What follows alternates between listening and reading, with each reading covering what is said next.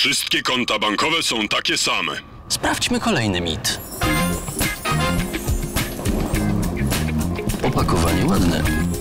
Od razu widać, że konta się różnią, Te są nadal płatne. Ten niby za darmo. ale jakieś gołe. Zostały darmowej i pełne opcji. A co to za cudo? To darmowy internet w mBanku. No i mamy zwycięzcę. Konto za zero, internet za zero. Skrzyżujmy wiązki.